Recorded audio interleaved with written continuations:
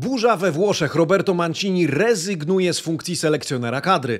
Kto za niego? A oprócz tego dzisiaj o meczach w Pucharze Włoch, o nowym kontrakcie Wiktora Ozimena oraz o piłkarskim Mercato. Czy Domenico Berardi trafi tego lata do Juventusu? Marcin Nowomiejski, poranny przegląd włoskiej prasy sportowej. Zapraszam.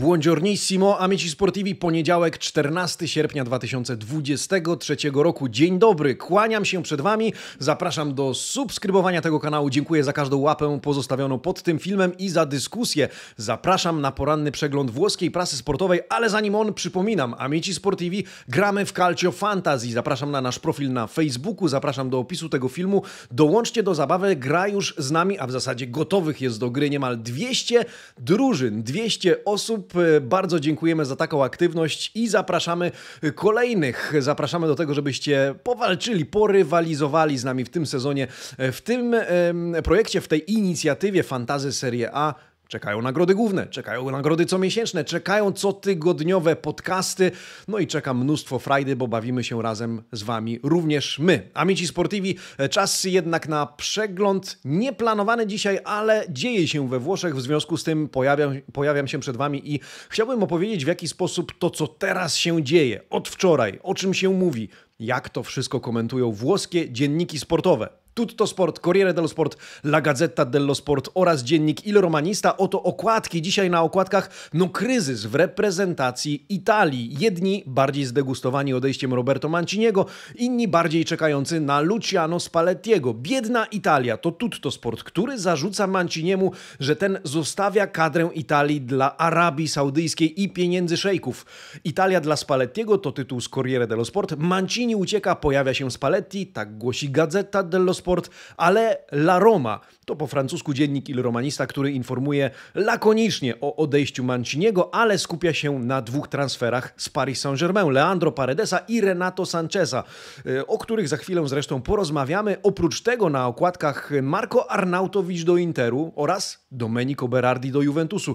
To również e, tematy, które zaczepimy w tle do Manda del Giorno. Pytanie dnia. Ja dzisiaj pytam e, Was właśnie o następcę Roberto Manciniego. Czy to Waszym zdaniem powinien być Luciano Spalletti, a może macie inny pomysł na nowego selekcjonera Azzurrich? E, o tym wszystkim sobie porozmawiamy pod koniec tego przeglądu prasy.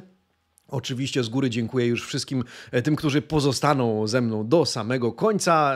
Oczywiście powiem, co wydarzy się w ten weekend e, w Eleven Sports między innymi, ale również na naszym kanale. E, zanim jednak o reprezentacji, no, tradycją tego kanału i tego formatu jest to, by zacząć od tematów czysto boiskowych, piłkarskich. A tak się składa, że gramy, gramy już we Włoszech, w Pucharze Włoch, ale wyniki no już są i niektóre zaskakują. E, Coppa Italia ruszyła, no i co? No i chyba największym zaskoczeniem jest e, falstart Moncy. Monza odpada w e, Pucharze Włoch z Reginą. Z Reginą prowadzoną przez, czy z Reggiano, nie z Reginą, prowadzoną przez Alessandro Nestę. To drugoligowa drużyna, która eliminuje zespół z Serie A, Monza Falsa Partenza, tak tytułuje swoje, swój artykuł dzisiaj Gazeta dello Sport. 1 do 2 i to u siebie na terenie Moncy. Alessandro Nesta sprawia psikusa przyjacielowi Galianiemu, pisze dzisiaj mediolański dziennik. Dobra pierwsza połowa Moncy, gol D'Ambrosio, ale w drugiej połowie Nesta dokonuje właściwych decyzji, a Brianzolich pogrąża nieśmiertelny Cigarini z rzutu karnego. No i stąd mowa o falstarcie.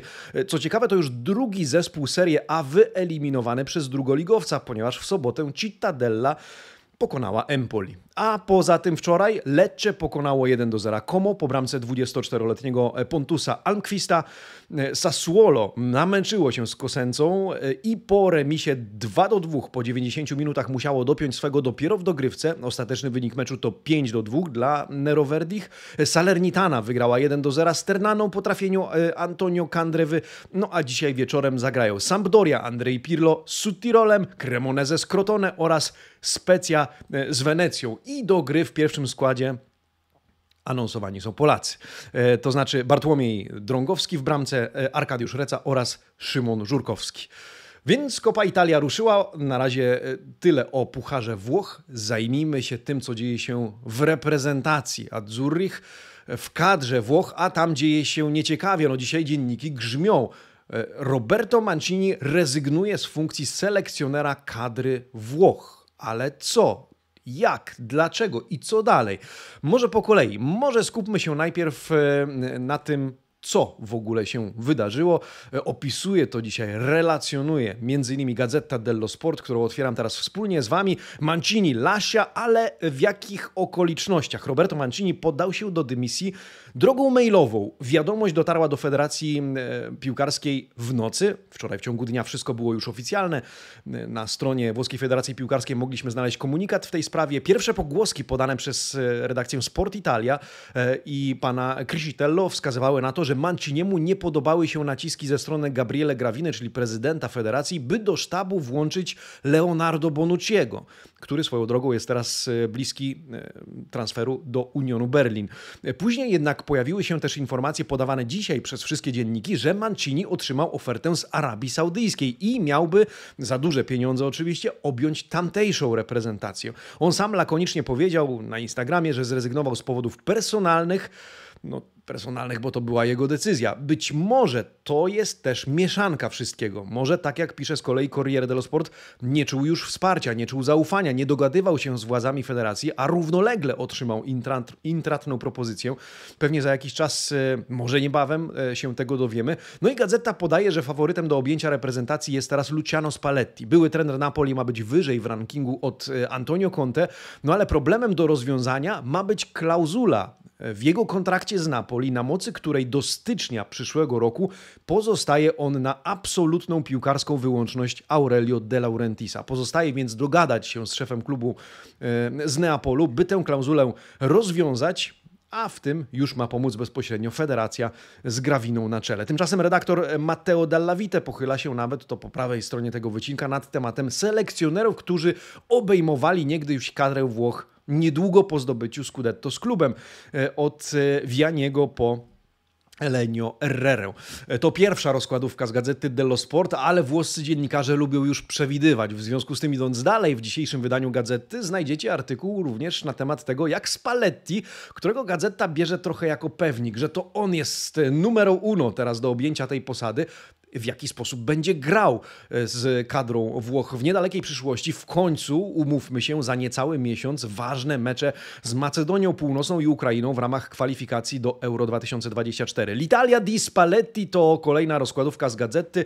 E, no właśnie, zdaniem mediolańskiej redakcji będzie to ustawienie 4-3-3 Manciniego oraz ofensywna, dominująca gra Azzurrich, niczym tych Azzurrich z Neapolu, których prowadził niedawno Spalletti. Redakcja zresztą zestawia nawet dwie jedenastki. Napoli, Luciano, Italię, Manciniego, próbując uzmysłowić, że tu mogą się w zasadzie zmienić tylko nazwiska, no bo ustawienie, styl taki sam, pytanie tylko czy gracze i potencjał podobny jak ten w Napoli z zeszłego sezonu. No a wspólnym mianownikiem będzie oczywiście Giovanni Di Lorenzo, bo on naturalnie powtarza się w obu tych zestawieniach. No ale co z Mancini? Jemu poświęcono osobne teksty, w różnym stylu pisane, w różnej otoczce budowane, czy z różną otoczką. Gazeta dello Sport wspomina innymi o tej rzekomej wciąż, być może w najbliższych dniach dowiemy się, czy to prawda, ofercie z Arabii Saudyjskiej. Mancio d'Arabia, e, Mancini arabski, w ten sposób to należałoby pewnie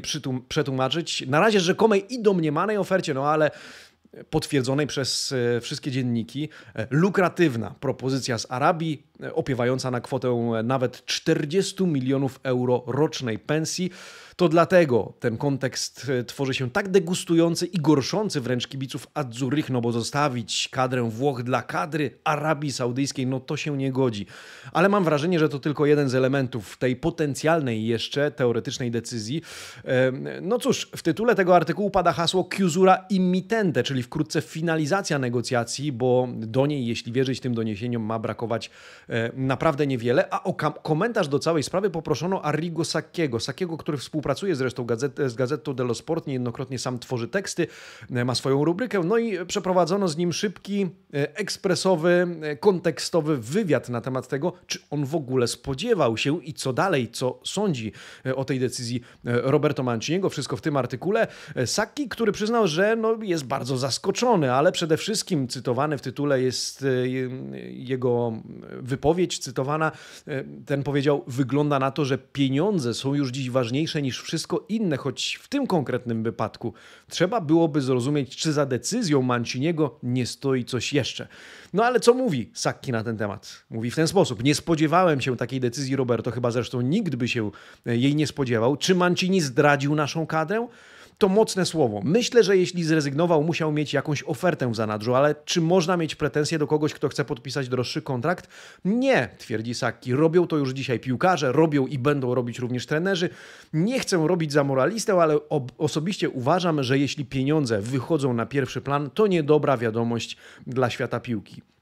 Zapytany co teraz z jego perspektywy, powiedział: Znam osobiście Gabriele Grawinę, to poważny i kompetentny człowiek, jestem więc przekonany, że zatrudni najlepszego kandydata do tej roli. Czy tak będzie? Przekonamy się już niebawem. Zobaczymy też, kto będzie tak na dobrą sprawę możliwy do zatrudnienia, bo życzenia i taki Spalletti to jedno, ale co jeśli na przykład strony się nie dogadają, trzeba będzie sięgnąć po alternatywne rozwiązania.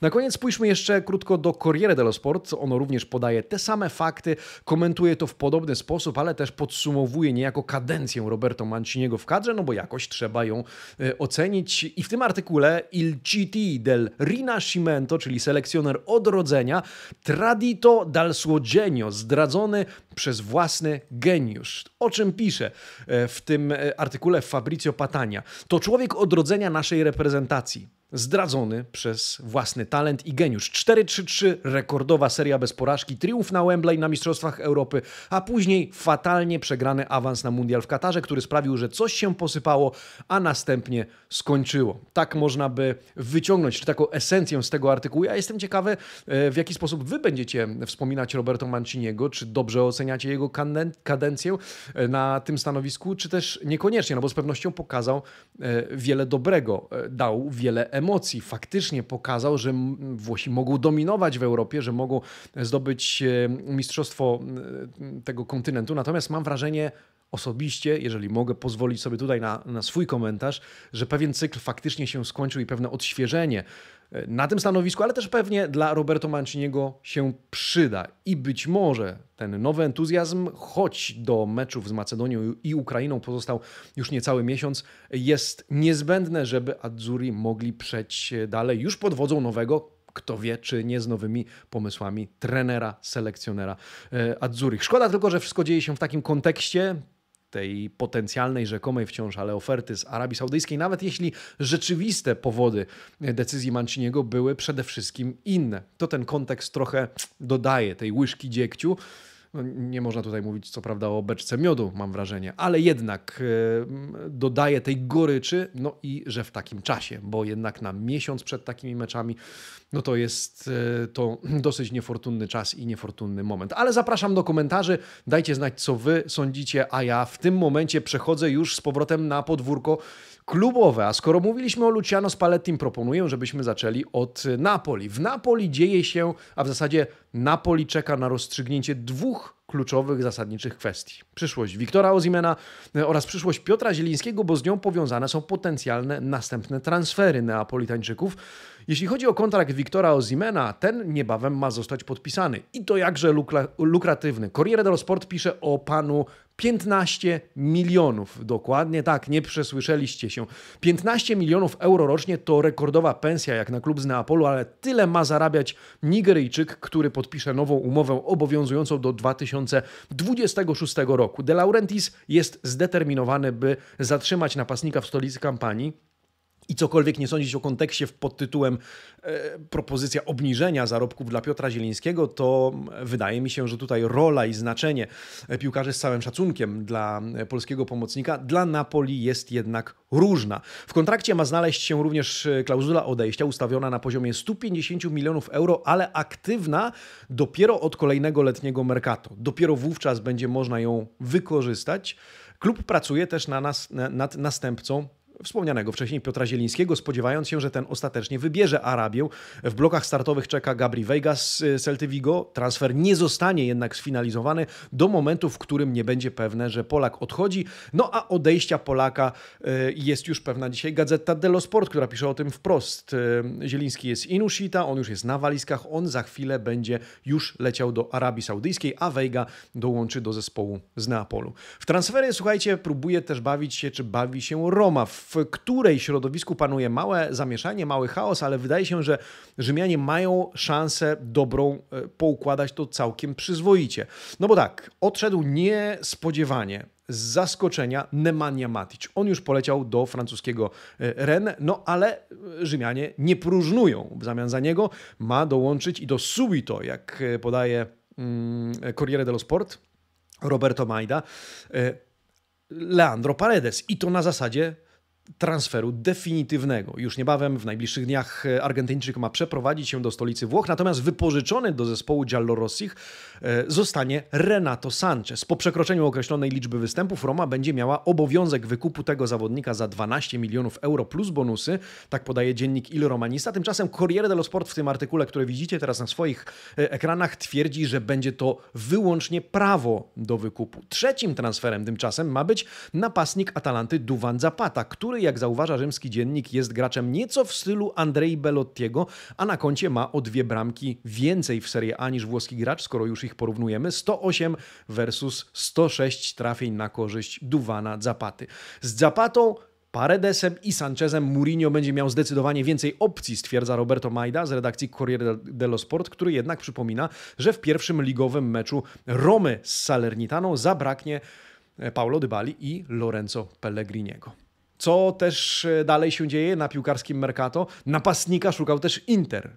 E, mieli być różni gracze, a skończy się najprawdopodobniej na Marco Arnautowiczu. I to jest ciekawa sprawa, z uwagi na to, że cokolwiek nie sądzić o tym transferze, można twierdzić, że to dobre uzupełnienie. Można twierdzić, że to już przy stary, e, z całym szacunkiem, zawodnik, 34 lata w piłkarskim świecie to już wiek wskazujący na bliższość raczej do piłkarskiej emerytury niż do geniuszu, choć e, chyba Henryk Kitarian miałby inne zdanie na ten temat. Tak czy inaczej, dzisiaj dzienniki komentują ten rychły podobno rychły, transfer w bardzo różny sposób. Zajrzyjmy, skoro jesteśmy przy gazecie Dello Sport, do gazety Dello Sport, e, a tam Arnautowicz in saldo. E, no i komentarz e, pod tytułem Mogło być zdecydowanie lepiej, ale najpierw pomówmy jak będzie. Arnautowicz najprawdopodobniej zostanie nową dziewiątką Simone Inzagiego. Bolonia ugina się pod naciskami Interu, samego zawodnika również, który bardzo chce tego transferu, e, związanej z nią oczywiście gro, gry w Lidze Mistrzów. Bolonia ma otrzymać 8 milionów euro plus 2 miliony bonusu, łącznie żądane wcześniej 10 milionów. Sam zawodnik wróci do stolicy Lombardii po raz pierwszy od czasów triplety Interu, kiedy to występował pod wodzą José Mourinho choć mam wrażenie, że występował to raczej pewne nadużycie, bo nie grał wtedy zbyt dużo, ale teraz ma szansę pograć zdecydowanie więcej. No i te różnie, różne, skrajnie różne opinie na temat tego transferu, bo Gazeta pisze tak, Inzaghi potrzebował znacznie więcej, ten transfer jest poniżej poziomu, którego wymaga Inter.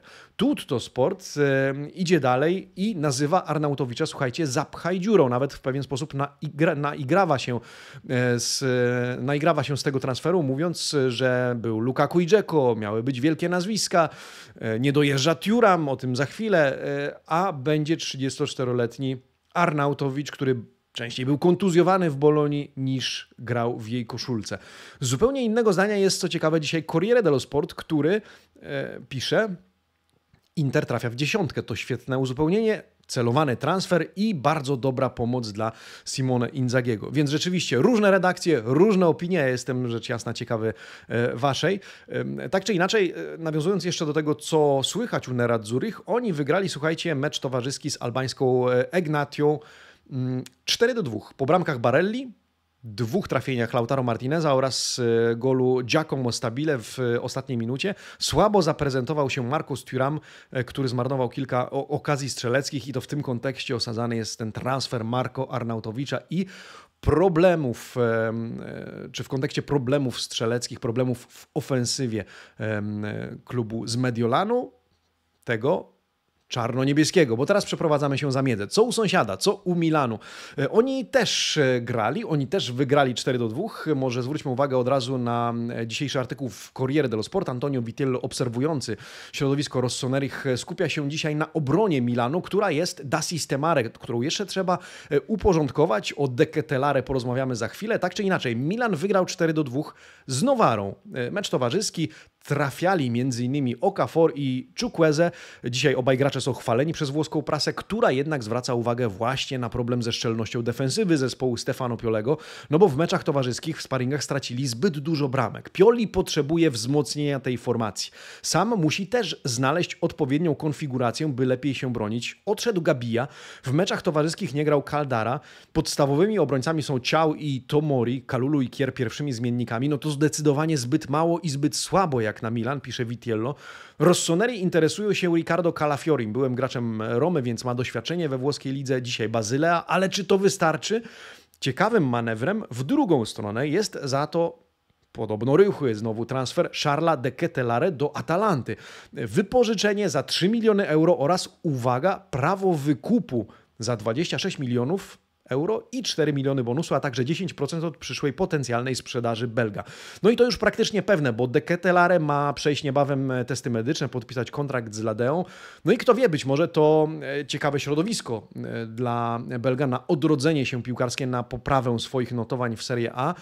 E, na pewno mógłby się ciekawie rozwinąć pod wodzą Gian Piero Gasperiniego. Z innych ciekawych transferów Junior Messias dołączył do Genoi, więc interesujący manewr zarówno ze strony Rossoneri, jak i Rosso Blue, Genoa zbroi się, ma Retegiego, tutaj Junior Messias. To może być ciekawy e, zespół w nadchodzącym sezonie. Zobaczymy. Zobaczymy, co stanie się też z defensywą Milanu. Ja na koniec zabieram Was do e, Turynu, bo tam też może się sporo jeszcze dziać w trakcie tego piłkarskiego mercato, e, ponieważ mowa o transferze, który, o którym mowa od zawsze, o którym dyskutuje się już, mam wrażenie, od lat a chodzi oczywiście o Domenico Berardiego, łączony z Milanem, łączony z Interem, teraz znowu łączony z Juventusem. Pisze dzisiaj o tym zarówno Gazeta dello Sport, jak i Corriere dello Sport. Gazeta bardziej w letnim stylu przygląda się gorącemu sierpniowi z Berardim, od białych kąpielówek w czarne paski po białą koszulkę w czarne pasy. No, trąca calcio pudelkiem, tak czy inaczej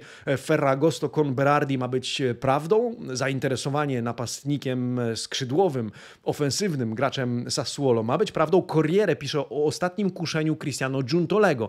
Czy tym razem Berardi zmieni barwy klubowe? Podobno on sam, tak twierdzą obie gazety, zgodził się już na transfer, da, dał zielone światło. Sassuolo z kolei nie muruje się, a podaje jego cenę. Zdaniem Corriere to 30 milionów euro, zdaniem gazety 25 milionów euro, ale oba dzienniki spójnie podają za to, że Sassuolo chciałoby, żeby Juventus włączył w transakcję któregoś ze swoich młodych graczy, albo Sule, albo Ilinga Juniora. Negocjacje trwają. Pytanie, co wy na to? Sule albo Inling Junior i dopłata do łącznej kwoty czy sumy wartości 25-30 milionów euro. Wchodzilibyście w taki deal? Czy niekoniecznie? Dajcie znać. Ja tymczasem, no cóż, y, czas zajrzeć do rubryki Domanda del Giorno, a tak jak wspomniałem, dzisiaj pytam o następcę Roberto y, Manciniego, a za chwilę o tym, co dalej i czego spodziewać się w najbliższych dniach. Amici Sportivi pytanie, kto powinien zostać następcą Roberto Manciniego w roli selekcjonera kadry Włoch? 60% z głosujących stawia na Luciano Spallettiego, więc wybór, nie wiem czy oczywisty, ale taki domyślny chyba, najmocniejszy kandydat, ale pytanie czy najciekawszy, czy najwłaściwszy. 28% z Was zagłosowało na e, Antonio Conte. Fabio Grosso otrzymał 8%. E, Fabio Grosso, który ma bardzo dobre relacje z Gabriele Gravino, stąd włoska prasa dywaguje, czy on tam nie będzie grany, też e, jego nazwisko. Pada też nazwi nazwisko Davide Nicoli, ale na niego nikt na razie nie zagłosował z Was. No i ktoś inny, kto to kilka opcji jest. Sięgam do komentarzy. Na przykład e, mamy komentarz Tiago Motta, e, który ma fajny pomysł na grę i jest elastyczny w taktyce. E, młodziutki Crosso również otrzymał swój głos, no a Tomek Elix e, mówi może Marek Papszun. Taki komentarz e, z samego rana. Amici Sportivi, dziękując Wam za dzisiejsze spotkanie ze mną i z włoską prasą, zapraszając do subskrybowania tego kanału, zostawienia łapy w górę, powiem tak. Następny przegląd prasy, oczywiście za tydzień. Za tydzień wjeżdża również um, pierwszy odcinek podcastu Calcio di Notte, w którym to bardziej spokojnie porozmawiamy o tym, co wydarzyło się w piłkarski weekend, a co się wydarzy. E, jeżeli nic się nie zmieni, usłyszymy się na antenach Eleven Sports w kanale pierwszym przy okazji meczu Udinese-Juventus, to w niedzielę, w sobotę przy okazji Frosinone-Napoli, oprócz tego studia przedmeczowe do tego meczu, do wieczornego meczu Interu z Moncą, więc będzie się działo. E, drugiego dnia również e, w niedzielę będą studia przedmeczowe przy okazji meczów Romy z Salernitano i właśnie Udinese-Juventus, więc serdecznie zapraszam. Studia od 17.30. Bądźcie z nami, a ja też przypominam, Uwaga, Calcio Fantasy. Zapraszam do zabawy, zapraszam do gry. Zerknijcie do opisu filmu, zerknijcie na nasz profil na Facebooku, na Twittera, no i zapiszcie się na, do gry w Fantasy Serie A, gdzie każdy z Was może być Fanta Allenatore wspólnie z nami, bo my też gramy e, i czekamy na Was. Tymczasem buona giornata e ci vediamo presto na Amici Sportivi. Ciao!